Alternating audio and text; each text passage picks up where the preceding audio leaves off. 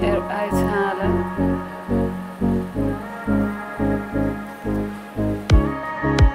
Goedemiddag, ik ben Faren en dit is mijn Perzische restaurant. Welkom.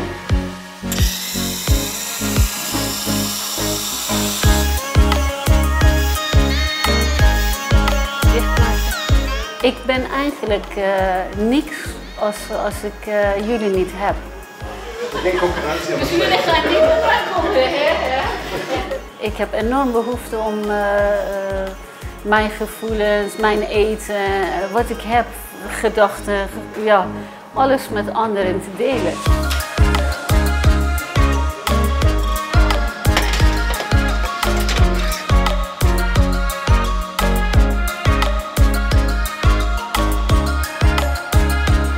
Ontmoeten.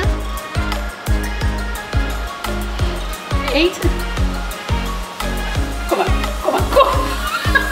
Dansen, hè? Dat is bewegen. Bewegen, jongens. Bewegen.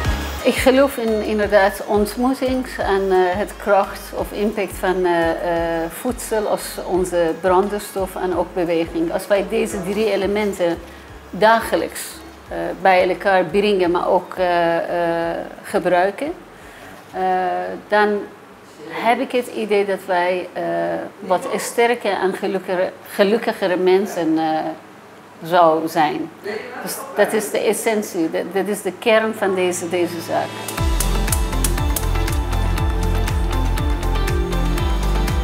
Het is van twee minuten. Dus, uh, ik ben vluchteling. 20 jaar geleden ben ik hier beland en uh, met je uh, lichaam hier zijn, maar met je geest daar nog in Teheran te blijven. En op een gegeven moment dacht ik, nee, op deze manier uh, maak ik mezelf gek en uh, het gaat niet worden. Zwaar, zwaar, ja. Ja, hele andere verhalen. Heel ja. andere. Ja, dat klopt, ja. Het gaat om hoe, hoe je naar situatie kijkt en wat je van Perzië weet of je er ziet. Perzië was mooi, maar Iran was niks. Nee, uh, nee, ben ik helemaal eens. Maar die datums komen niet op de bord. En, ops walnoten. Dit zijn de ingrediënten dat ik nodig heb. Een beetje her nog.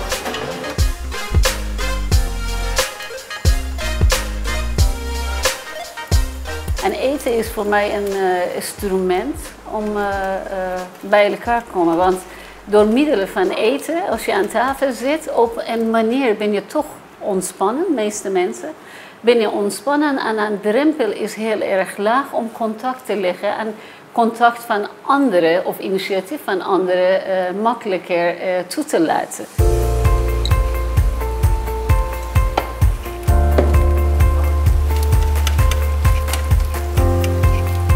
Sla erop doen. Beetje kaas erop. Ook een beetje sport en activiteiten doet, dan heb jij uh, een, een dosering van endorfine en adrenaline aangemaakt. Hè? Uh, maar dan op een natuurlijke manier. En dat doet ons ook goed om zichzelf sterk, maar ook gelukkiger voelen.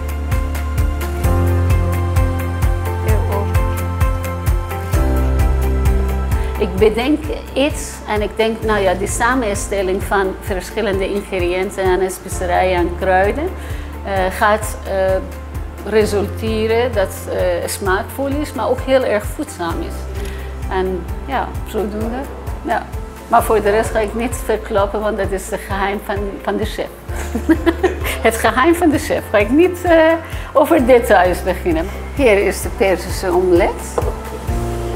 Alsjeblieft.